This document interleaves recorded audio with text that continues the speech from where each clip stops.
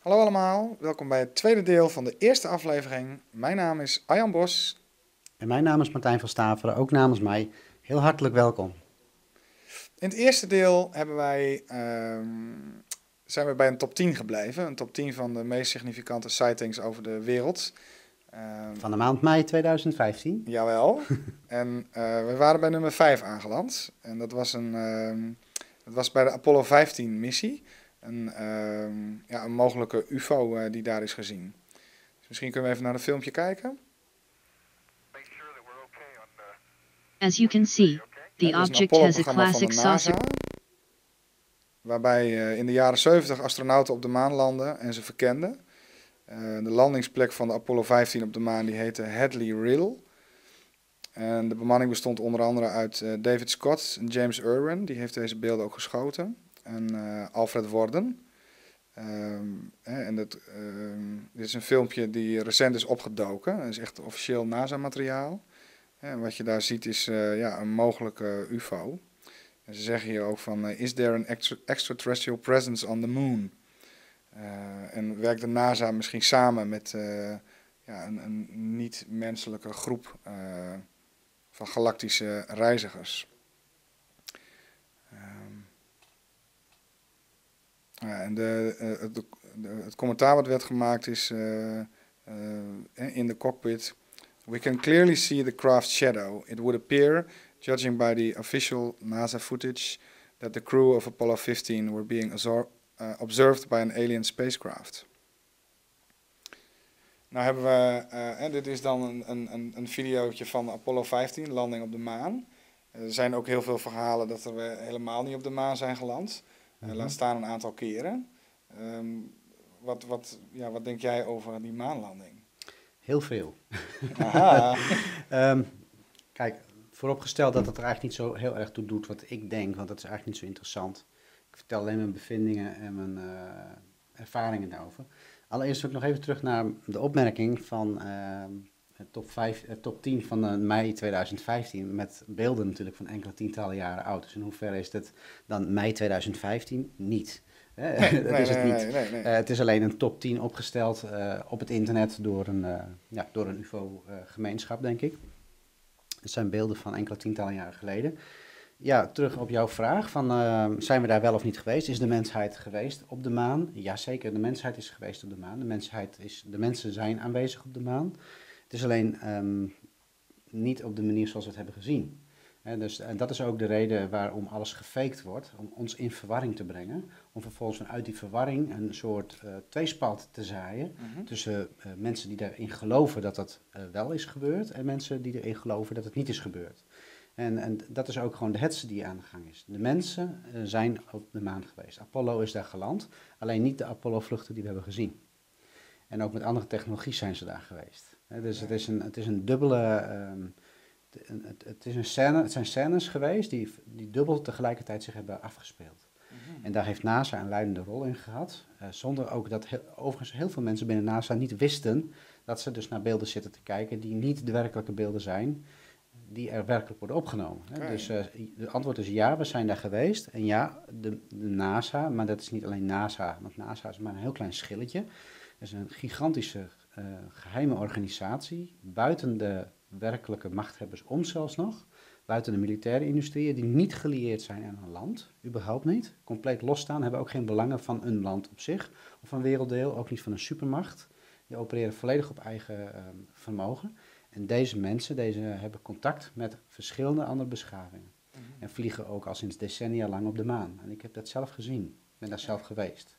En ik heb ook gezien dat er verschillende ehm, belangen ook achter zitten. Er zijn ook verschillende galactische groeperingen bij betrokken. En het zijn allemaal groeperingen die, eh, dat kun je rustig stellen, eh, onze machthebbers op zich ook hebben aangewezen voor zichzelf als de legitieme machthebbers. Mhm. En dus eh, dan kun je ook automatisch de vraag stellen: in hoeverre zijn deze galactische beschavingen welwillend ten opzichte van de menselijke, eh, menselijke bewustzijn? Hè? Dat, wie wij zijn. Waarom doen wij daar niet toe? Waarom wordt daar aan meegedaan? Eh, waarom werken ze, ze samen? Daar zit natuurlijk een enorm grote agenda achter. Dat is ook onder andere waar ik ook veel over spreek.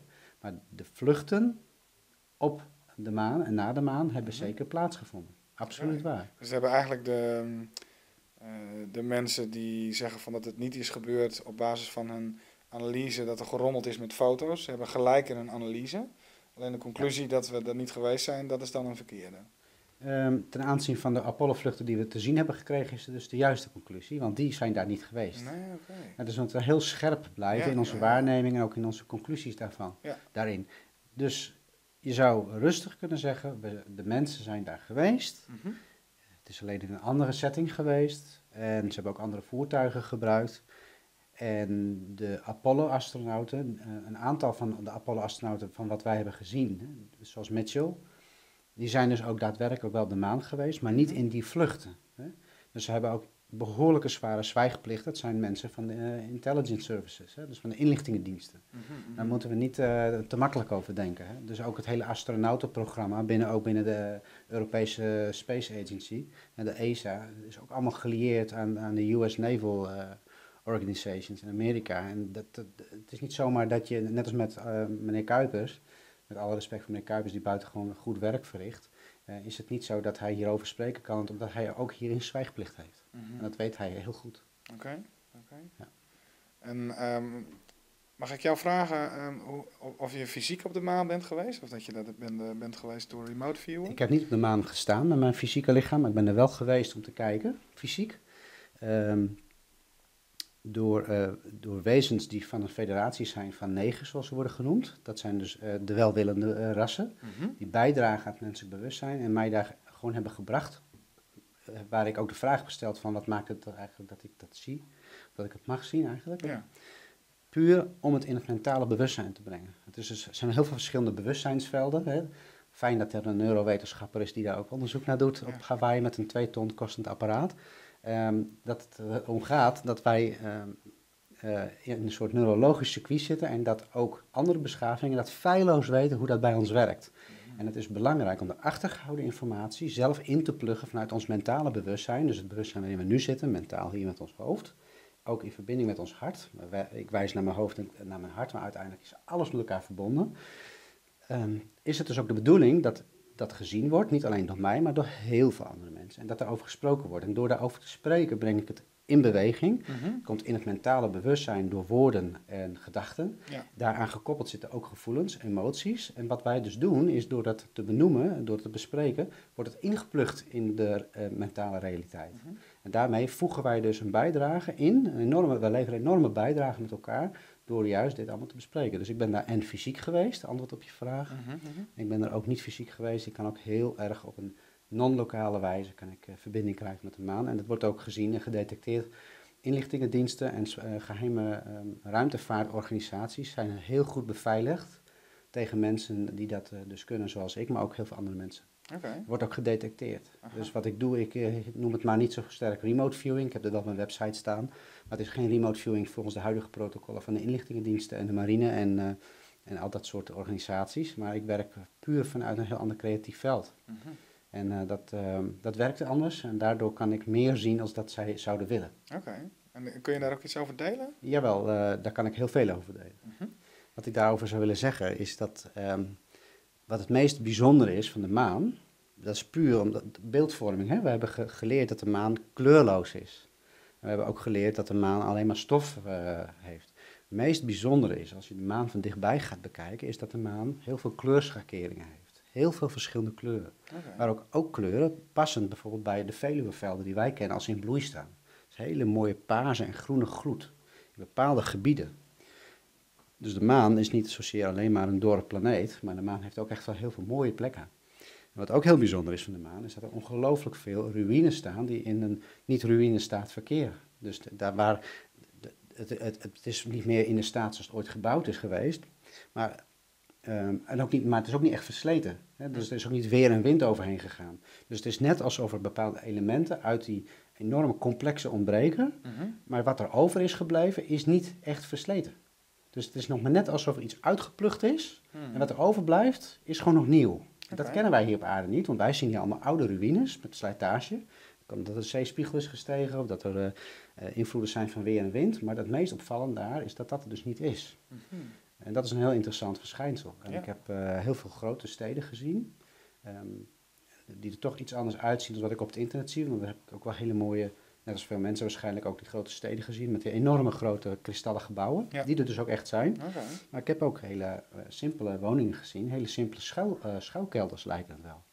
En dus de, de, de maan wordt niet alleen maar gebruikt door verschillende beschavingen van buitenaf, maar ook dus door de eh, geheime groepen op aarde die daarop gestationeerd zijn. Overigens hebben deze groepen van, van deze aarde niets in de melk te brokkelen op de, op de maan. Oké. Ja, dus ja, goed, het, het, is, het is enorm wat er allemaal gebeurt. Ja. Ja. Ja, er zijn twee eh, dingen. Ja. Ja. Eh, ja, Heb je al last het- een beetje van ontkenningsverschijnselen? Ja, ik vind echt waanzinnig dit allemaal. ja. dit, eh, Het is ook leuk hè, om hier ook om met elkaar ook om te kunnen lachen. Hè? Ja. Want we brengen dus iets in, en ik ben me bewust dat, dat ik dat doe, dat dat ook heel veel ontkenning teweeg brengt. Want wat is dit voor een waanzinnig verhaal? Ja, Dan bedenk je wel dat ik dus hier mijn hele leven al over spreek, ook als kind. En, en toen waren er helemaal geen boek. eh, goed, ik bedoel, ik ben geboren in mijn fysieke lichaam in 1973. Toen was natuurlijk al genoeg geschreven over allerlei verschillende zaken, maar niet in de context waar ik nu over spreek. Ja. Dat heb ik zo ontzettend al uitvoerig verteld. En ja, dat vind ik dan heel erg leuk dat ik dat nu ook naar buiten breng. En ook weer constateer dat zelfs bij de mensen die dat juist heel graag willen horen, dat die uiteindelijk, zelfs als je een bepaalde diepte ingaat, dan toch nog die ontkenning naar voren komt. Dat is gewoon de biologie van ontkenning. Mhm. Zolang we iets wat nieuw is, wat we nog nooit hebben gezien, wat, wat, wat niet op de voorgrond is ge- gekomen en altijd een beetje in het, eh, het gekkiehoekje is gezet. Ja. Op het moment dat je dat gaat neerzetten eh, en je gaat erover spreken, dan komt er een moment in ons bewustzijn die zegt, maar dit kan helemaal niet wat die man vertelt. Ja. En dat is de kracht van ontkenning. Ik heb zelf ook twee keer op zo'n punt gestaan met betrekking tot de maan. En los van de, of we daar wel of nou niet geweest zijn discussie. Eh, maar ik hoorde ook dat hij, ehm, ik weet niet of dat David Icke was of ergens anders, maar in ieder geval is een verhaal dat hij ook compleet artificieel is. Dat hij in een baan om, aan de aarde is gebracht. Dat ook vrij bijzonder is dat, hij, dat we altijd hetzelfde punt zien. Eh, en dus dat we nooit de achterkant van de maan zien. Ehm, en dat er heel veel meer van die bijzondere dingen zijn. Maar dat hij ook hol zou zijn. En dat hij dus artificieel in een baan om de aarde gebracht zou zijn. Dat, ehm, ja, dat, dat is wat ik hoorde. Ja, de aarde, de maan heeft heel veel verschillende betekenissen. De historie is zo ontzettend rijkelijk. Dat kun je ook niet alleen maar terugbrengen naar 200.000 jaar geleden, waar bijvoorbeeld de Anunnaki eh, en op de Sumerische kleitabletten staat goed beschreven, hoe die hier op de aarde neerdaalden en ons hebben aangepast. Maar er ligt nog een historisch voor, zelfs voor de Anunnaki. En het gaat echt niet honderdduizenden jaren terug en ook niet miljoenen, maar het gaat zelfs miljarden jaren terug. Dan kom ik weer op die hele leuke arts van die neurologische eh, ontdekking. Als je daar dus in gaat duiken, dan ga je ontdekken dat ons neurologisch systeem in staat is om verschillende tijdslijnen tegelijkertijd te kunnen ervaren. En in het bewustzijn waar het aan gekoppeld zit, zitten we dan in tijdslijn eh, nu, hè, de tijdlijn van nu. En, maar buiten het bewustzijn, in een ander non-lokaal bewustzijn, hebben we dus een hele andere historie, waarin wel bepaalde elementen voorkomen uit deze realiteit. Nou, dat is gewoon buitengewoon interessant. En, eh, en de maan heeft daar dus ook een heel belangrijk onderdeel in. De maan speelt in al die verschillende realiteiten, in al die verschillende tijdslijnen en historielijnen, ook allemaal een prominente rol. En dat komt dat het geïnitieerd is door krachten die ons metafysisch bewustzijn hebben eh geënterd, als het ware. Ja. En nu zitten wij in een situatie waarin we de maan een duiding geven. En vanuit het punt waarin we nu zitten, kunnen we rustig zeggen dat de maan niet een onderdeel is van ons metafysisch bewustzijn, zoals de aarde dat wel is. Oké. De moeder aarde is een heel belangrijk, allerbelangrijkste element. Hè. Dat gaat echt om de natuur en de dieren. Laten we dat niet uit het oog verliezen. Want hoe als we alleen maar daar zitten en we vergeten het hier, hè, dan zitten we net zo uit balans als dat we niet spreken over het buitenaardse onderwerp. Dus daar mag ook goed alert mogen daar met elkaar in zijn en blijven. Ja. En de maan, eh, in de setting waar we nu in zitten, is de maan een, een manipulatieobject in het zwaartekrachtveld van de aarde. En dat is alleen wat we er nu van kunnen zien. Maar daarbuiten heeft het effect in ons ehm, neurologische circuit, buiten ons fysieke lichaam om.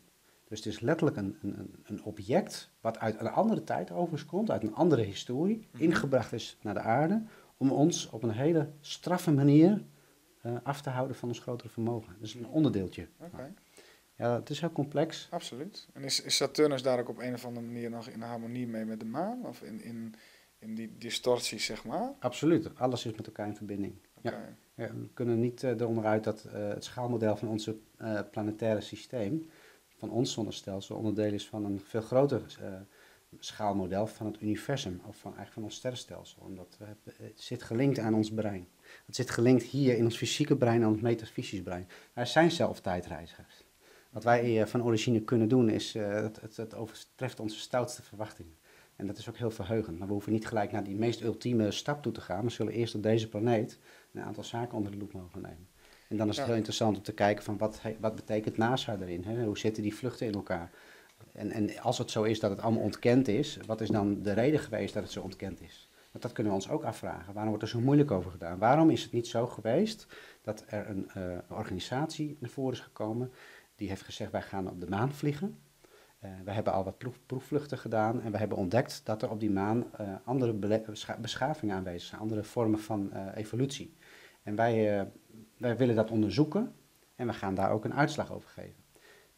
Wat maakt het dat de mensen die dit allemaal eh, georchestreerd hebben, dat die daar zo geheimzinnig over doen? Ik bedoel, Ja. als jij en ik in die tijd daar zouden zijn geweest, zouden we hebben gezegd, jongens, we hebben een heel belangrijke ontdekking. Ja, Eh, De mensheid kent de planeet, onze maan, en hebben we ontdekt dat daar dus bijzondere dingen aan de hand zijn. Maar wat maakt het zo dat die mensen die dit allemaal georchestreerd hebben, dat die dus een compleet andere koers varen? Wie zijn die mensen dan? En, Mhm. en hoe komt het dat die mensen dat doen? En hoe komt het dat die controlemechanismen zo sterk zijn? Dat, dat als je dus uit de schoolbank klapt, hè, dat je dan op je vingers getikt wordt, of dat er iets heel ernstigs gebeurt, waardoor je dus toch besluit van, hou mijn mond maar dicht. ja, ja, Hè, ja. hoe- wat zijn dat voor krachten? Wat, wat zijn de verbanden daartussen? Nou, dat is waar, waar we ook eh, deze uitzending over, eh, over hebben. Om te kijken naar links en te kijken naar rechts. En wat de hamvraag is van wie zijn wij? Wie zijn wij? Ja. Wat is er zo belangrijk aan ons? Ja, er wordt een hoop om Hm? ons heen georchestreerd inderdaad. dus ja. dat is wel iets... eh, dus er is iets bijzonders met de mens op deze planeet aan de hand. Ja. Er speelt ook een leidende rol. En dan leidende rol met AI. eh, maar langzamerhand is het ook wel eens een lange ei geworden. In het een heel grote galactische samenhang. Ja. Interessant allemaal, hè? Oh, Ja. waanzinnig, waanzinnig. Dus jij vraagt aan het begin van deel 1 van de, van de eerste uitzending, wat maakt het dat je dat belangrijk vindt? Nou, ik denk dat door hier heel veel over te spreken, dat die vraag eigenlijk gewoon uit zichzelf wordt beantwoord. Ja, absoluut. Eh, want het is ons alle erfgoed. We hebben het recht om te weten wat er aan de hand is. En we hebben het recht om te weten waar wij vandaan komen, wie wij zijn. En onze krachten als mens ook te kunnen bundelen. En de gelijkwaardigheid te kunnen herstellen. En niet meer in, in, in hokjes en vakjes te denken, maar echt werkelijk waar alles open te gooien. Dan kunnen we ook helen met elkaar, dan kunnen we exploreren. Ja. Want we hebben iets heel moois te doen in dit universum. Iets heel moois. Mm. En we zijn alleen maar bezig met, met, met afleidingsmechanismen. Dus het is de tijd dat we daar gewoon wat aan doen. Nou, Nou, volgende punt. jawel. Ehm, even kijken hoor, of ik die nou goed heb. Momentje hoor. Oh, dan mis ik- NASA hebben we gehad in ieder geval Ja, in dit stukje. nee, dat klopt, Daar komen ja. natuurlijk nog wel uitgebreid op terug. Uiteraard. Heel interessant. Ehm, nee, ik miste vier inderdaad. Dus nummer vier is, de, ehm, is een, een, een, lijn, een, een lijn van eh, lichten die in eh, Siberië in de nacht is gezien. En, eh, die, en die is gefotografeerd in Omsk in Siberië. En ehm, hij was eh, eh, zes verticale lijnen heeft hij eh, gefotografeerd. En daarna zie je hem even uitvergroot. En hij is ook in de Siberian Times geweest. En die zeggen van, nou ja, er is geen officiële uitleg voor wat we hier zien. Ehm, maar although... ehm, ja, ze hebben gezegd van, nou, het is een, een, een glare van de camera. Dus een, een, een, ja, iets in de camera. eh, of satellieten die eh, in, in de ruimte voortbewegen. Maar zeggen ze, in de Omsk eh, gebied is ook, staat ook wel bekend voor allerlei bijzondere fenomenen. zoals graancirkels en vele berichten van unidentified flying objects. En, en er zijn ook van die wat langere skulls, dus de, de, ehm, skeletten gevonden, zeg maar, Schedels, schedels ja. eh, gevonden. Ja. Even kijken of ik dat... Nee, ik heb een korte schedel. Nou, dat lijkt verrekt kort, ja.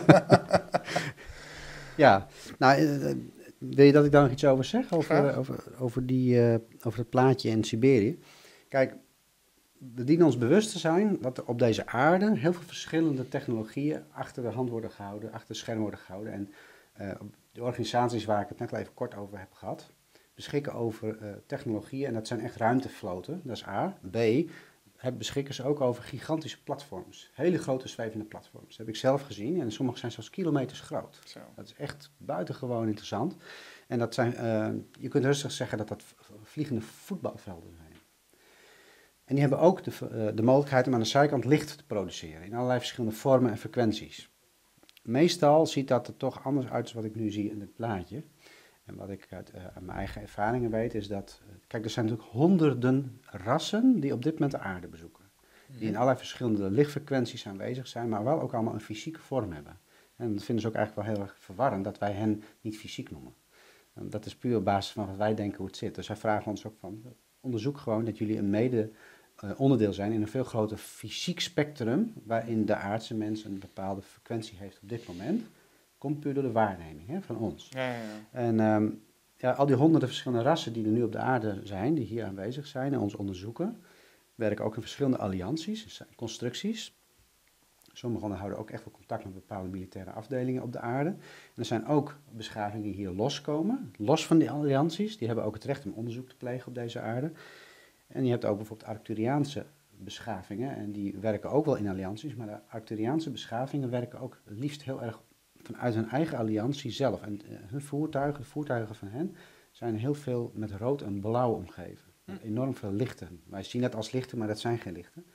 En eh, het, het, het lijkt een beetje, ja, dit, dit fotootje, dat lijkt een beetje, dat plaatje, de afbeelding lijkt heel erg op een Arcturiaanse moment van een voertuig, van een schip. Oké, Heel interessant, heel mooi. ja. Ja, Ja, ja. bijzonder.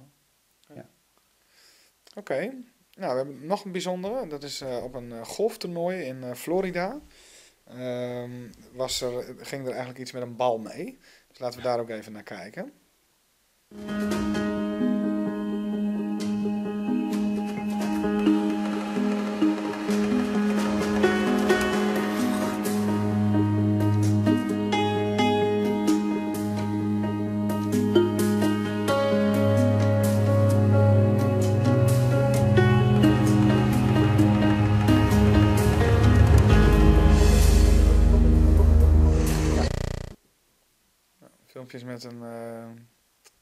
Telefoon gemaakt. Ja.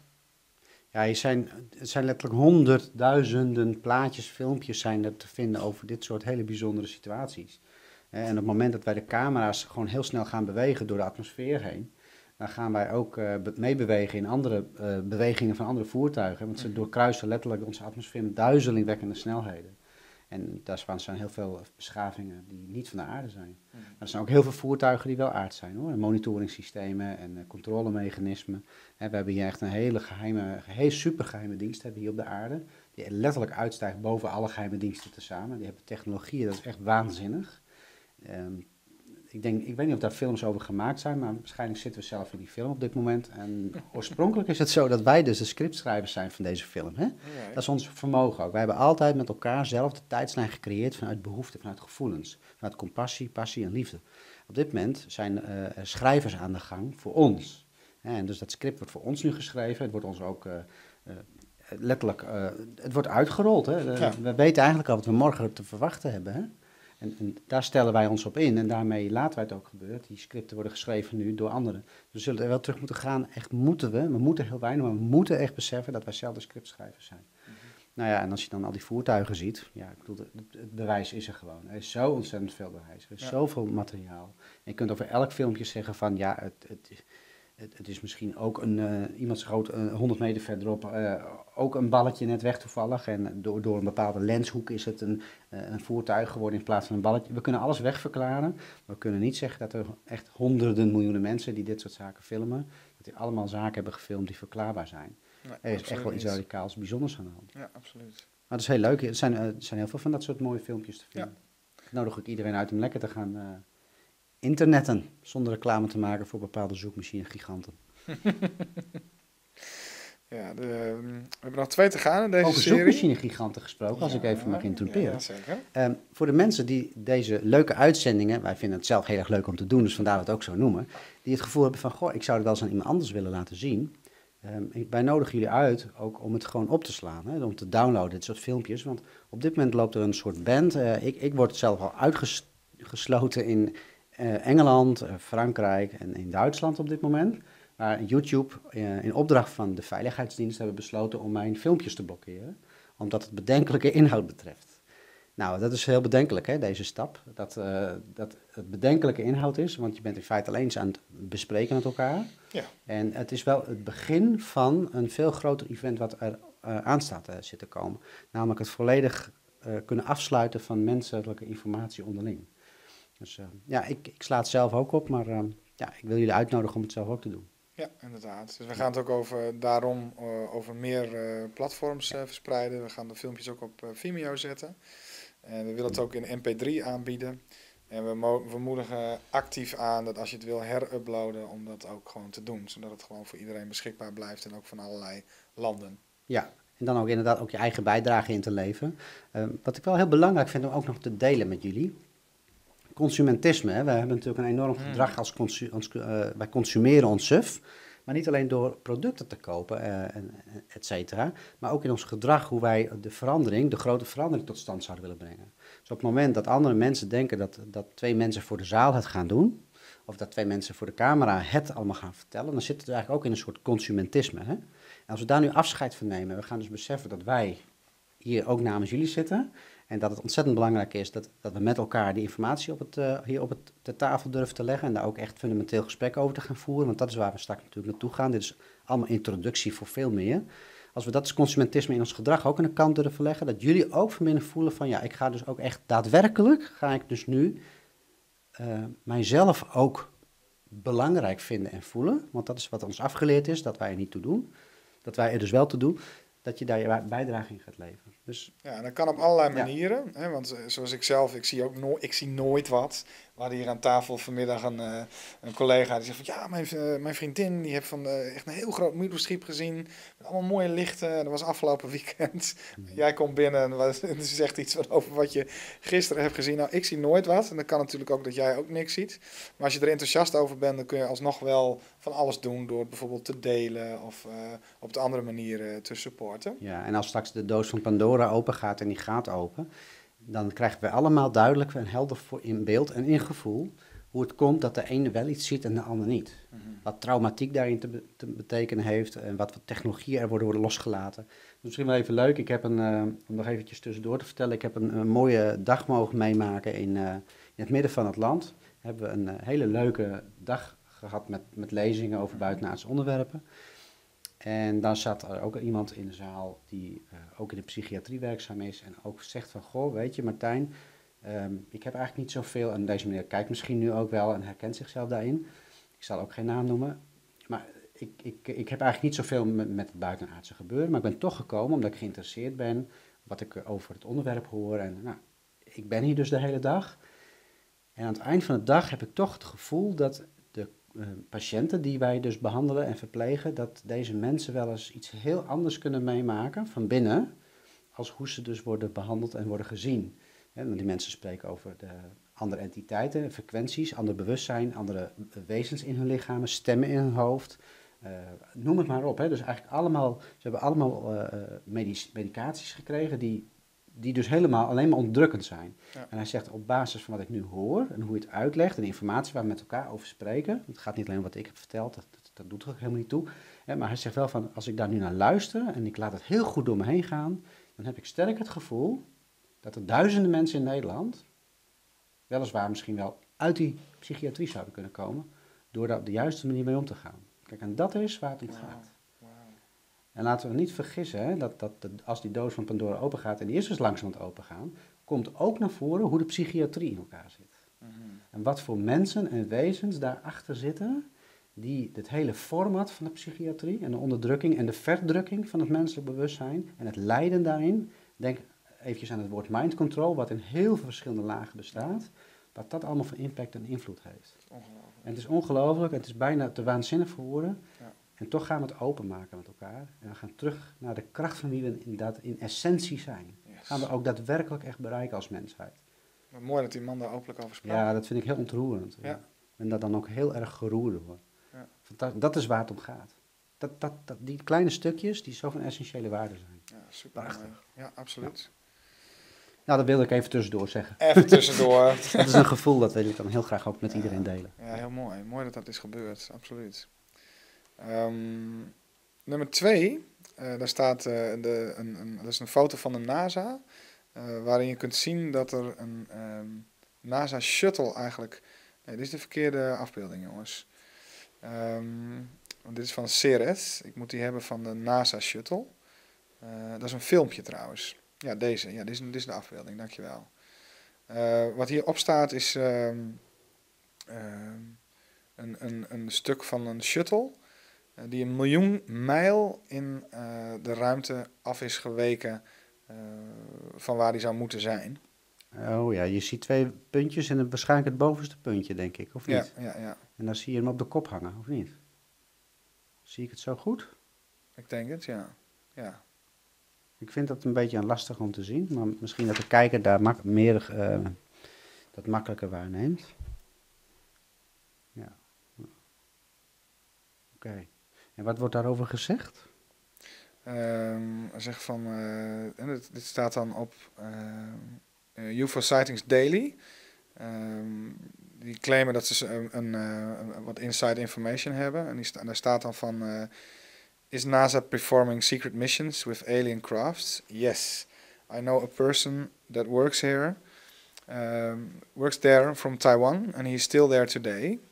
Um, he said he saw a blue wheelcraft that glows turning on end like a wheel and can travel to the moon in just a few minutes. Hmm.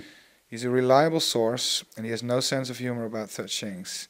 This may be a new shuttle made with alien technology like the TR-3B. And if you're wondering what TR-3B is, Wikipedia has us both covered on its alleged um, predecessor model. The, the TR-3A Black Manta is the name of a Renaissance airplane of the United States Air Force, speculated to be developed under a black budget project. Oké, kun je dat ook in het Russisch vertalen voor Ja, ons? dat is over Spaans ook geen probleem. Ehm, ja, ik denk dat ik wel begrepen heb wat er wordt gezegd. Ik weet alleen niet of alle kijkers dat hebben gehoord. Maar kun je het even kort samenvatten in het Nederlands? Eh, ja, dit is van de UFO Sightings eh, Daily. Die zeggen dat eh, en ze in, eh, informatie hebben dat ze denken dat het een. eh, eh, of inside information hebben. En dat, dat dit een stuk technologie is van NASA. wat, met, nou, wat met alien technology. Of, buitenaardse techniek is gemaakt. En, ehm, Daar hebben ze die beelden van. de- Ja, Ja. Dat, ja. en dan Wikipedia die zegt over ehm, een, een, de TR-3B eh, dat het een, een eh, vliegtuig is die eh, is gemaakt onder een eh, eh, zwarte budget Ja. Zwart, eh, ja, black budget programs. Ja, eh, ik, ik heb zelf genoeg daarvan gezien. ehm, van klein jongetje af aan al. En die vliegende driehoeken, waar ook over wordt gesproken, wat voor nummer je ze ook wilt geven, dat maakt niet zoveel uit. Die bestaan. Ehm, die zijn ook in grote aantallen aanwezig op de aarde. Ehm, maar ik noem het maar geen, geen shuttle. Dus dat vind ik een bedenkelijk iets waarom het een shuttle wordt genoemd. Hm. Omdat de voertuigen die er zijn helemaal niet in een, voert, in een shuttlevorm eh, worden gebouwd. Eh, de shuttlevorm is, is gebouwd puur uit eh, aerodynamische overwegingen. En buiten de aardse dampkring hebben we te maken met hele andere natuurwetten, hele andere wetten. Ehm, dus wat dat betreft weet ik niet of dat al- als een shuttle zou moeten worden gezien. Feit is in ieder geval dat deze voertuigen er zijn. En het is ook heel interessant om te, dan te merken dat ze dan ook worden gefilmd. Ja, En, ik zou graag willen dat het iets duidelijker gefilmd wordt, maar ik denk dat we dat allemaal wel zouden willen. Ik, ik kan persoonlijk met die foto's, kan ik niet zoveel. Ik denk dat de meeste mensen daar niet zoveel mee kunnen. Maar we kunnen waarschijnlijk wel allemaal ons indenken dat de NASA, en niet NASA van eh, de laag van de space shuttles, maar dat NASA verschillende lagen heeft eh, van geheime organisaties die daar gebruik maken van andere voertuigen. En de voertuigen die ik heb gezien, die eh, zien er niet uit als shuttles. Mhm. Nee, absoluut niet. Nee.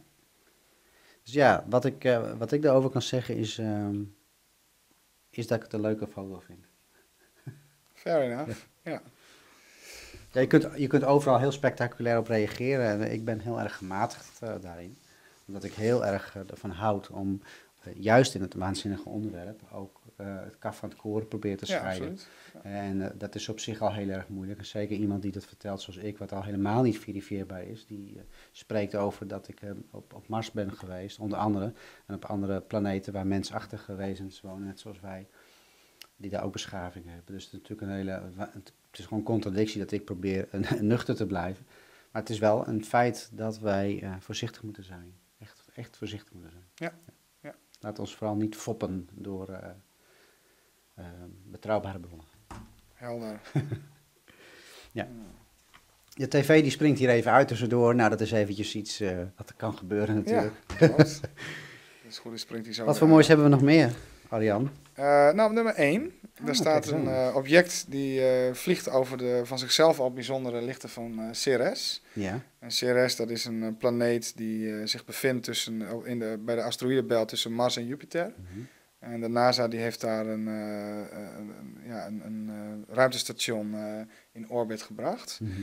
En wat, dat is, daar worden hele bijzondere dingen waargenomen. Want daar, daar zie je lichten. Dat is de, in het eerste filmpje zie je dat ook even. Ehm, ja, je ziet gewoon die, planeet op een bepaalde Ja. punten oplichten. En je ziet het huidige plaatje zie je dus ook waar, daar wordt een eh, illustratie eh, daarvan waar de asteroïdengordel zich bevindt, hè, tussen Ja. Mars en Jupiter in. En daartussenin heb je de asteroïdengordel en daar bevindt Ceres dus. Klopt. zich. Ja, dat zag je even onderaan. Ja. En ehm, nou, laten we even naar de filmpjes gaan kijken. The bright dots were clearly visible before the sunlight even reached the mysterious location of Sirius.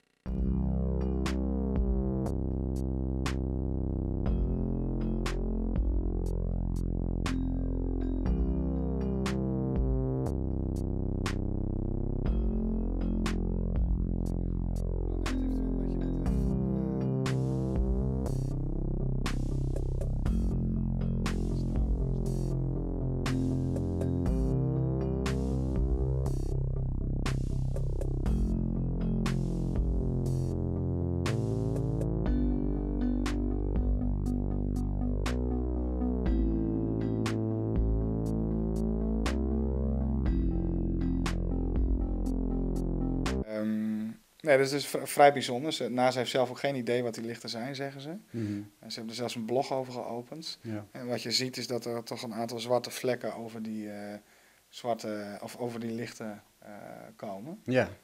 Nou ja, NASA weet verdraait goed wat het is. Eh, vertelt het alleen niet, dat is iets heel anders. Omdat daarmee de doos van Pandora verder open gaat. Ik heb eens een keer foto's gezien uit de tijd van de echte maanlandingen. En ik kan jullie vertellen dat die vlijm en vlijmscherp zijn. Ja, want is, in die tijd, was ook met de varkensbaai, hè, vlogen ze met de U-2 eh spionagetoestellen vlogen ze over Cuba heen. Dan konden ze hele scherpe foto's maken, ook full color. Hè. In die tijd zeker ook al full color. En de foto's die wij te zien kregen in die tijd waren gewoon vlijmscherp, maar nog niet echt zo gedetailleerd dat je echt de nummertjes op de raketten kon zien. Daar zijn ook geheime militaire documenten van uitgelekt, waarin je dus kunt zien, dan kun je er gewoon een schroefje stellen van, op de plaatmateriaal van, van de raketten. Hè. Zo scherp. Diezelfde camera's en diezelfde lenzen, die werden toen ook al gebruikt eh, in het ruimteprogramma bij de maan, onder andere bij de maan. En die foto's, die dus ook in kleur zijn, zijn zo ontzettend scherp en zo ontzettend bijzonder mooi om te bekijken, dat het gewoon lachwekkend is dat we dus nu nog steeds vaak eh, zwart-wit foto's te zien krijgen van de maan en ook van eh Ceres. Hè, dus eh, beelden te zien krijgen die gewoon echt nog horen bij de jaren 40. Hè? Ja, ja, ja, En we pikken dat ook nog met elkaar. Hè? Dus er wordt, worden miljoenen en miljarden aan belastinggeld geïnvesteerd aan eh, ruimtevaart en wetenschap.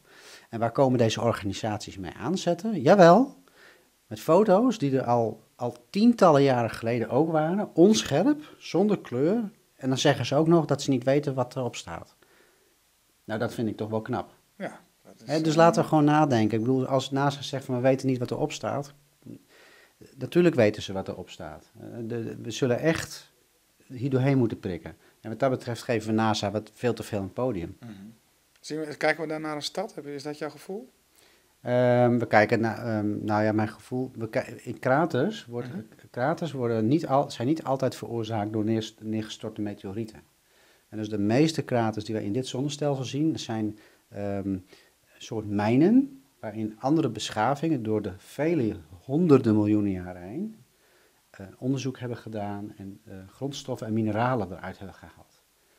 Daar worden, en, en dat komt door frequenties van binnenuit, een trilling en harmonische klanken, ontstaan er aan de oppervlakte, ontstaan er dus structuren die in vele gevallen ook kraters lijken. Overigens zijn er heel veel wetenschappelijke onderzoeken naar gedaan hoe een krater eruit ziet. Als er een groot rotsblok inslaat op de maan bijvoorbeeld, Mhm. hè, dan zijn allemaal verschillende simulatiemodellen van. En dan zie je dus dat een krater op de maan er absoluut totaal anders uitziet dan wat wij nu zien. Oké. En dus er zijn heel veel verschillende onderzoeken en eh, ja, we worden gewoon ontzettend voor de gek gehouden. En de lichten? Er ligt eh, zeer waarschijnlijk zijn dat objecten die daar in die mijnen, ik noem het maar even mijnen, eh, die daar naar grondstoffen delven, die daar gewoon oplichten. Mhm. Want die apparatuur die blijft daar gewoon intact. Het is niet zo dat dat niet meer werkt. En eh, NASA vliegt op dat soort eh, eh, planeten. NASA vliegt al tientallen jaren op allerlei planeten. En het is natuurlijk ontzettend slim. Dus je kunt zeggen van het is een, het is een complottheorie van de hoogste plank. Maar als we terugkijken overigens in de historie, in de geschiedenis, zien we dat complottheorieën altijd achteraf bleken te kloppen. Ja, meestal wel, ja. Nou, bijna altijd. Ja. En dus laten we zeggen dat 90% van de complottheorieën op dit gebied kloppen. Nou, dan hebben we heel wat uitgelegd te krijgen door deze. Absoluut. En maar de, de, de voertuigen die daar allemaal geparkeerd staan, het zijn gewoon gigantische grote steden. Het zijn gewoon steden. Het zijn mijn, mijn, eh, steden waar mijnwerkers en technologieën eh, aanwezig zijn. Oké. En dat eh, hebben we toch hier op aarde ook. Ja, oké. Nou, Ja. Dat kan dus ook op een andere planeet. Mhm. Heel erg interessant. Is simpel voor woorden eigenlijk. Ja. Ja. Dat, eh, maar wel een, een eh, terechte nummer 1 eh, wat, Ja. wat dat betreft. Ja. Dat, absoluut. Heel bijzonder. Ja. Ja.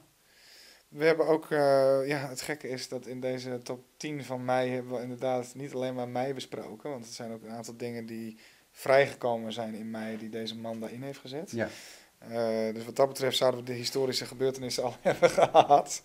Maar eh, we hebben hem er ook gewoon nog ingezet. En wij zien, eh, we hebben het even over de Russische meteor- meteoriet. die de hele wereld over is gegaan, die, Oh ja. die iedereen heeft gezien. Eh, waar je kunt zien dat er ja, een licht door de kern gaat. Kunnen we daar even naar kijken?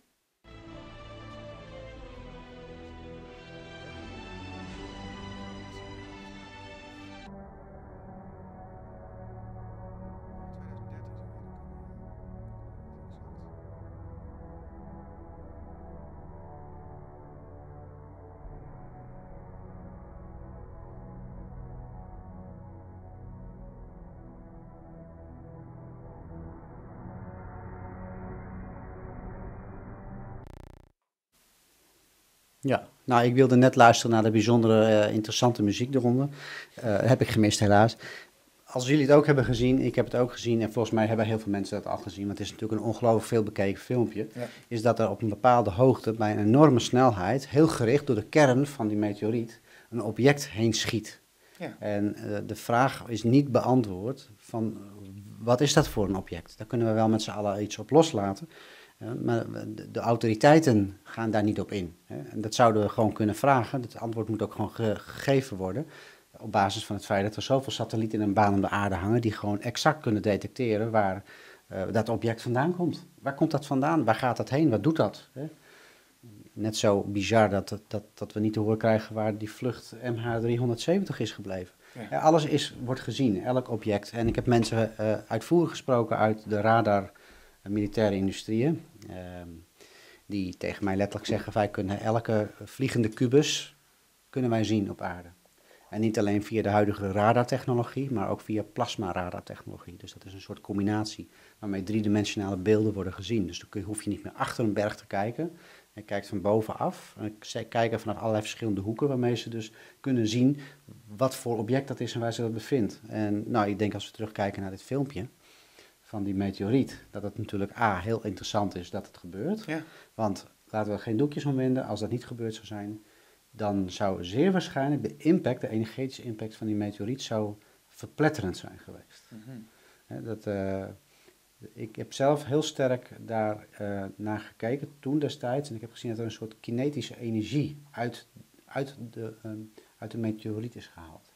Waarmee dus de, de, de energie die vrijkomt veel kleiner is geweest. oké.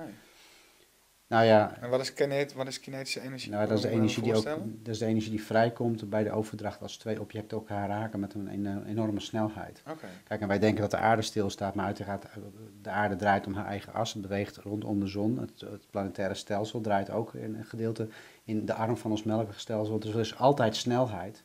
En die snelheid wordt op een bepaalde manier ge- gemeten en, en die komt ook tot een bepaalde manier tot uiting. Nou, en je kunt bedenken dat het langzaamste object in dit geval de meteoriet is geweest en niet de aarde. aha. En dus eh, eh, er zijn krachten, er zijn eh, wezens die ons ook welwillend zijn. En die ervoor gezorgd hebben dat de impact van de aarde tegen de meteoriet, want dat is eigenlijk hoe we het horen te benaderen. Wij zien iets anders denken, maar dat de aarde de energie al absorbeert voordat de meteoriet en de aarde elkaar raken. Dat is wat er gebeurd is. Ah, is heel interessant verschijnsel. Nou, Ja. ongelooflijk. Ja. En, ehm, en we hebben het in de introductieuitzending, of nee, in de, de eerste eh, uitzending van eh, de Fringe Weather Report even gehad over ehm, eh, Fukushima. En dat dat een, hoe, hoe dat is georchestreerd eigenlijk. Mhm. Ehm, zou dat ook kunnen zijn met zo'n meteori- meteoriet, dat dat georchestreerd is om iets te bewerkstelligen? Of is dat gewoon een toevallige iets in de, in de ruimte wat op aarde komt? Ehm, ja, dat, is, dat hangt helemaal van de aanvliegroute af van hoe je be- bewustzijnsveld is, hoe je waarneemt. Hè. De- kijk, wij nemen dus waar op een bepaalde manier en we interpreteren de realiteit. En buiten datgene wat we waarnemen en buiten die interpretatie heeft datgene wat wij denken dat we waarnemen, en dus ook werkelijk waarnemen, heeft een hele andere, een dubbele betekenis. En die, en die is niet een- eens dubbel, maar die is heel gelaagd uit heel verschillende bewustzijnsrealiteiten. Dus als er een meteoriet neerstort neerkomt, dan kan dat zo zijn dat dat dus ook echt een meteoriet is van buiten de aarde. Maar het kan ook zijn dat dat inderdaad in scène wordt gezet om iets te laten gebeuren. Feit is dat we een meteoriet zien. En we denken dat we die meteoriet zien. En die zien we dus ook. Ja, Op basis van onze kaders, van wat onze hersenen snappen wat het is. Maar het collectieve dat- kaders. Ja? Oh ja, van onze collectieve Ja, kaders. precies, onze collectieve kaders. Ja. En op het moment dat we dus dat met z'n allen zien, dan zien we dat dus ook. En dan wordt dat ook gewoon als zodanig geclassificeerd. Ja. Maar als we nu gaan kijken van wat gebeurt er eigenlijk als ons waarnemingsvermogen fundamenteel toeneemt, als onze vermogens toenemen, dat we buiten het zichtbare licht- lichtspectrum ook nog allerlei andere frequentievelden en bewustzijnsvelden gaan detecteren, dan gaan we dus ook niet alleen dat groter zien, maar dan gaan we ook de betekenis zien, de opbouw van wat die meteoriet is. En wat ik, wat ik mijn hele leven in dit eh, aardse stuk ook eh, vertel, is dat alles wat wij waarnemen in een holografisch veld achter het object wa- wat wij zien, gemanipuleerd wordt. Mhm. En dat is ook wat ik zo interessant vind aan de film van de Matrix, omdat alles energie is en wij nu alleen nog maar denken dat we de waarnemers zijn. Ja. Dus wij nemen waar wat er wordt ingevoegd in de energie. En dan zou dat zo kunnen zijn dat die hele meteoriet een compleet andere betekenis heeft gehad. Ja. En dat ook Fukushima een compleet andere betekenis heeft gehad. En stel je voor dat die twee torens die in New York naar beneden zijn gegaan, dat die dus ook een andere betekenis hebben gehad. Dat we dus wel torens naar beneden zien gaan, maar dat die torens een, een hele, uit een hele andere betekenis bestaan dan wat wij er op dit moment van zien. En dus dit is ook de uitdaging. Hè. Hier ga ik ook naartoe met de mensen om ons uit te dagen, en ik word daar ook in uitgedaagd, dus er geen verschil in, uitgedaagd te worden om uit het menselijke denken te stappen. Hè, want als wij het buitenaardse concept denken te kunnen gaan begrijpen, kan dat alleen als wij helemaal compleet anders in een ander stuk software durven te stappen. Een ander stuk software Ja, stappen. ja. Dus ons eh, besturingssysteem van ons computertje thuis wordt ineens vervangen door een compleet ander computerprogramma, een ander besturingssysteem. En je weet ineens niet meer hoe, hoe die computer werkt. Mhm. Dus je weet niet meer hoe je je post opent, je weet niet meer hoe je internet gaat bekijken. En zo is het met ons ook. En dus wij hebben een veel geavanceerder besturingssysteem dan alleen ditgene wat we nu gebruiken. Hè, daar gebruiken we nog één mapje van. Ja. En in- binnen dat mapje proberen wij alles te begrijpen. We worden er ook in geboren, waardoor we kaders hebben en het ook snappen. Maar de, de mensen en de wezens in die enorm grotere realiteit, die zien ons daar ook in leiden. En die zien ook dat wij uit die kaders mogen komen. En zij zeggen ook letterlijk van jullie kunnen het gaan begrijpen op het moment dat je gaat erkennen dat de waarneming die je op dit moment doet, dat die zeer discutabel is. Dat die Ja. eigenlijk een soort hypnotische trance of een hypnotische sessie is. En kun je dan bijvoorbeeld, een, een, ehm, als je dat weet of ziet, een tipje van de sluier oplichten? Wat dan een andere betekenis zou kunnen zijn van eh, of deze meteoriet of, of 9-11, die, wat je even aanhaalt? Nou, ik heb eh, in, mijn, in mijn hele eh, leven heb ik heel veel te maken met het uit deze realiteit stappen, zeg maar. Dat is niet helemaal de juiste benadering. Ik zal hem eventjes corrigeren. Dat er een grotere werkelijkheid zich openbaart doordat mijn vermogens in mijn systeem ineens meer, ja, dat, dat ik mijn vermogens meer kan gebruiken. Dus ik ga ineens meer zien. En daardoor zie ik ook dat bijvoorbeeld een wolk niet alleen maar een wolk is, maar dat het bestaat uit een gigantische laag van frequentievelden. Zelfs een wolk. Dus elk object wat wij zien. Niet alleen levende, eh, niet alleen vogels, mensen, eh, bomen, en et cetera, maar ook zaken die, die, die dood lijken te zijn. Dus alles heeft een bewustzijnsveld. En dat is de meest eh, Ik denk dat dat de leukste uitleg is. Dat veel mensen zeggen, ja, wij hebben als men, fysieke mensen hebben we ook een aura. En ze hebben ook een aura om ons heen. En sommige mensen kunnen die aura zien. Ja. En je kunt het ook andersom zeggen. Je kunt ook zeggen, wij bestaan uit energie. Alles is energie. Tussen die energielagen in is er intermoleculaire ruimte, waar we nog op dit moment niks van snappen. Eh, maar die energie, daarvan zien we maar 1%. Niet omdat onze fysieke hersenen dat doen, maar omdat ons grotere bewustzijn is uitgeschakeld. En we zien maar 1% van die energievelden. En dat is dan deze realiteit die we nu waarnemen. En sommige mensen nemen dus buiten deze realiteit dan ook nog, toch nog een stukje uitstoting, een uitstraling van die energie waar. Dat noemen we dan een aura.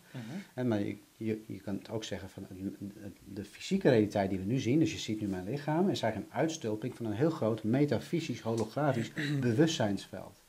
En, eh, en daarmee zeg ik dat alles niet, eh, altijd alles een andere betekenis heeft. Maar wij zien alleen die ene frequentie. En de krachten die deze realiteit bij ons invoegen, hebben dat heel goed in de gaten. En die zorgen daar op een hele slimme manier voor dat wij collectief aan een soort bewustzijnsinfuus liggen en elkaar ook daarin versterken door nieuws- en mediafeiten voor te brengen, het collectief eh, te injecteren en ook over de hele wereld tegelijkertijd uit te zenden dat er bijvoorbeeld een terroristische aanslag wordt gepleegd, zien wij als collectief dus ook letterlijk die fysieke uitstulping daarvan in het bewustzijnsveld. Dus in de lichtspectra die wij dus kunnen zien, althans die worden omgezet door ons brein in een driedimensionaal beeld.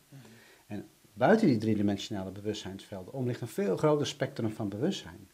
En denk maar gewoon aan, aan het meest simpele voorwerp, voorbeeld is dat je onder hypnose bent. Ja. Dat je eh, iemand die onder hypnose is vervolgens zijn bril of haar bril afzet en ineens perfect zonder bril kan lezen.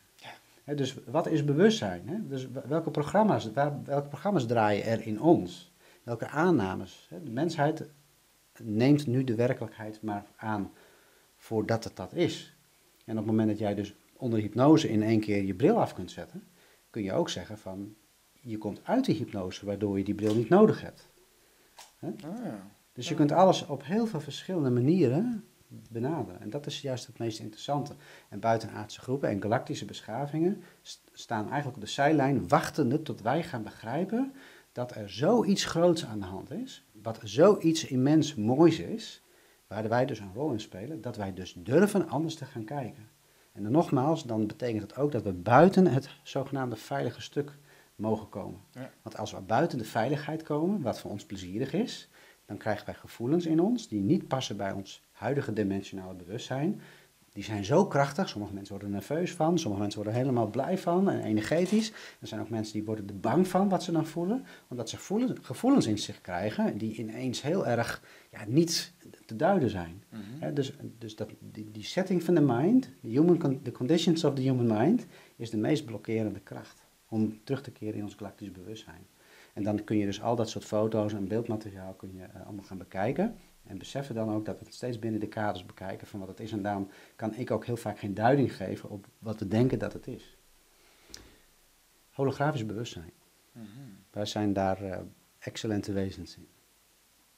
Ik heb Alleen een, moeten we ons dat nog beseffen of moeten we naartoe groeien? daar zijn we nu heel erg druk mee bezig. Ja. En, en op het moment dat wij dus iets een betekenis gaan geven als de betekenis op zich, hè, we hebben de waarheid nu ontdekt, Mhm. of we hebben nu de methode ontdekt, we weten nu hoe het exact in elkaar zit, op dat moment kaderen we alweer. Ja, dus Want wij zijn ongelimiteerde wezens. Een implosie van alle mogelijkheden. Precies. Ja. Ja, en, en de strijd en het gevecht en, en ook de liefde die er wordt gegeven over de mensheid en aan de mensheid, allemaal gericht op het behoud van het menselijk bewustzijn. Gerelateerd aan het aardse eh, scheppingsvermogen. Dus het is, het is, is zoiets, veel, zoiets moois aan de hand. En in feite vallen alle religies vallen hiermee gewoon eh, goed te verklaren. We kunnen uit alle religies de, de hoofdboodschappen halen. En, en we kunnen uit allerlei eh, culten en secten en allerlei spirituele bewustzijnsvelden kunnen ook allemaal boodschappen halen die ertoe doen. En de rest kunnen we loslaten. En we kunnen niet zeggen van dat de mensheid hier op deze planeet zomaar toevallig in een soort leerproces is gekomen. Want als we superieure wezens zijn, wat valt er dan nog te leren? Ja. Hebben we het dan alleen misschien te herleren? En als er een universum is, een universa en een metaversum, er zijn ook boeken over geschreven. Hè, is het dan werkelijk zo dat de Ascended Masters, de opgestegen meesters, dat ze werkelijk opgestegen zijn? Of is er iets met ons gebeurd, waardoor ons bewustzijn zo naar beneden geklapt is en onze circuits van vermogens uitgeschakeld zijn? En als je dit helemaal durft open te leggen en je gaat daarin werkelijk helemaal open, Mhm. nou, dat is gewoon fantastisch. Ja, Het is precies de krachten die op deze aarde aanwezig zijn, Ja. trachten te voorkomen dat wij de hypnose collectief doorbreken. Maar kennelijk is daar wel een soort pad in nodig. Ik ben nodig, ehm, ja. moet denken aan eh, mevrouw Blavatsky, die schreef in haar geheime leer over het licht van Vohat. Eh, dat, dat, ook een, hè, dat was dan een soort meting van het oorspronkelijke zijnsveld. Mhm. En die had hier eh, het oorspronkelijke zijnsveld, wat zij dan mat, of waar zij het dan over had, was 180.000 aan intensiteit. Ik weet niet meer precies de maat aanduiding, maar ehm, en waar wij nu in zijn is iets van 80. Mhm. Dus als jij dan spreekt over 188 vallen van het bewustzijn, Mhm. en dan hebben we heel veel trapjes op de weg terug nodig. En zij schreven ook van op het moment dus eh, de mens zeg maar, die nu in dat 80 veld zit, in één keer geconfronteerd zou worden met die 180.000, eh, dat hij in één keer opgebrand zou worden. Ja, dat klopt. Ja. Ja. Ja. Tenzij er mensen bereidwillig zijn om in groot groepsverband het bewustzijnsveld op de aarde al een beetje in beweging te brengen. En dat is ook wat er gebeurt. En het is niet voor niks dat eh, er enorme conflicten worden gecreëerd in bijvoorbeeld Syrië. En dat zijn hele belangrijke locaties waar het metafysisch bewustzijnsveld van de aarde hele grote centerpoints heeft. Dat, dat, dat- daar kun je letterlijk, dat zijn enorme neurologische circuits, lopen daar dwars door de aarde heen als enorme stromen lava's. Onzichtbaar voor ons op dit moment, maar er wel is. En op het moment dat dat dus tot expressie gaat komen en dus in het bewustzijnsveld en de atmosfeer van de aarde weer begint te stromen, dat de onderdrukking dus eraf gaat, is er trauma nodig en oorlog nodig en zorgen van de mens, omdat wij de scriptschrijvers zijn van het energieveld van de aarde. Voor vele miljoenen jaren hebben we gedacht, door alle beschavingen heen, dat de aarde leidinggevend is in de energie naar ons. Dat de aarde ons oplaat. Dat de zon de aarde oplaat en dat daardoor de mensheid in een ander bewustzijnsveld komt. Maar het is radicaal anders.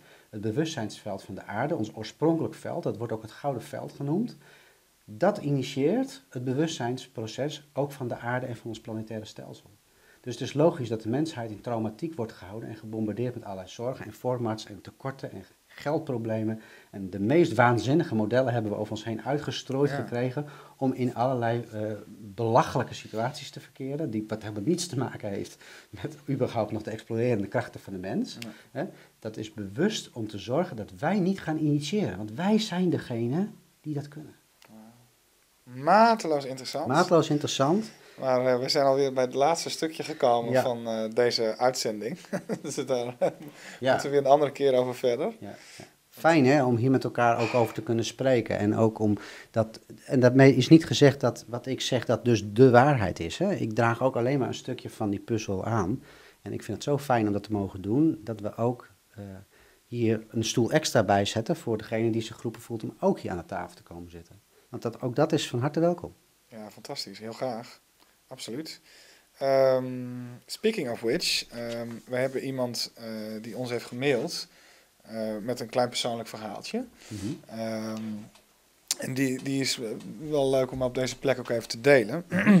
Hij zegt, ik heb persoonlijk contact gehad met reptilians die uiteindelijk de controle hebben over de banken. Dat hebben ze me persoonlijk verteld. Vandaar dat ik in een artikel beschrijf hoe het bankenstelsel werkt. En, en een tijdje later in een volgende e-mail, eh, want hij heeft dat artikel gepubliceerd, zegt hij dat hij, eh, ja, ik heb inmiddels allerlei aanvallen gehad en inderdaad ook astraal. Ik ben ook aangevallen met energy weapons, althans zo voelde het. Alsof de energie in mijn lichaam corrupt werd. Ook ben ik telepathisch lastiggevallen, wat dagen achter elkaar duurde. Hierdoor ben ik vorig jaar opgenomen in een psychiatrisch ziekenhuis. Niemand gelooft mijn verhaal, dus denken ze dat ik schizofreen ben. Ja, dit verhaal is ook niet te geloven op basis van wat wij tot nu toe weten en dat- dat we wat we denken dat we kunnen weten. Dit gebeurt gewoon ongelooflijk veel. Er zitten in Nederland echt duizenden mensen in inrichtingen, klinieken opgesloten omdat ze er niet naar ze geluisterd wordt. Want de psychiatrie zegt dat op het moment dat je naar gaat luisteren en je gaat het ook nog beamen wat die mensen eh, vertellen, dan spreek je, praat je ze zelfs een, een ziektebeeld aan. En dat is op zich al knap dat dat, zou kunnen. Dat je iemand een ziektebeeld aanspreekt, eh, eh, aanpraat. Maar dit is heel moedig van deze persoon om dat te delen. En het is absoluut waar dat je heel sterk in je schoenen zou moeten staan, kunnen staan om eh, hiermee bezig te gaan. Ik raad ook iedereen aan om hier dus vanuit kracht mee bezig te zijn. En ook te werken aan het bewustzijn van dat je dus nergens bang voor hoeft te zijn op voorhand. En als je dat niet goed onderzoekt en je denkt dat alles wel meevalt, dan kan het zo zijn dat je ook dus lastiggevallen wordt. En daar heb ik wel hele, eh, veel dingen in te, in te delen met de mensen, om te zorgen dat we allemaal in het veld van bescherming kunnen zijn. En want anders zou ik hier ook niet over kunnen spreken. Ja. En eh, deze persoon heeft nu iets neergezet in de beweging door dit te mailen, dus dank, dank Ja. daarvoor. En ehm, daar komt ook een reactie op vanuit de- het veld van kracht. Mooi. Dankjewel. Heel mooi. Ja. ja, dus dan zijn we nu aan het einde gekomen van onze eh, uitzending. Ja, jammer. Ja. Ik dacht dat we na- net begonnen waren. Ik wilde nou net eventjes van eh, even loskomen. Ja, dat is, niet, dat is niet- echt niet te doen. Heel fijn, Arjan. Ehm, ik vond het een hele mooie uitzending. Ehm, ik besef mij dat het eigenlijk alle kanten uitgaat. We zitten in een, eh, in een fase waarin we echt nou, nou, formatloos eigenlijk werken. We hebben wel een beetje een opzet gemaakt. Ja, nogmaals van harte welkom en eh, hopelijk tot een volgende keer. Ja, dankjewel voor het kijken en graag tot de volgende keer. Dag.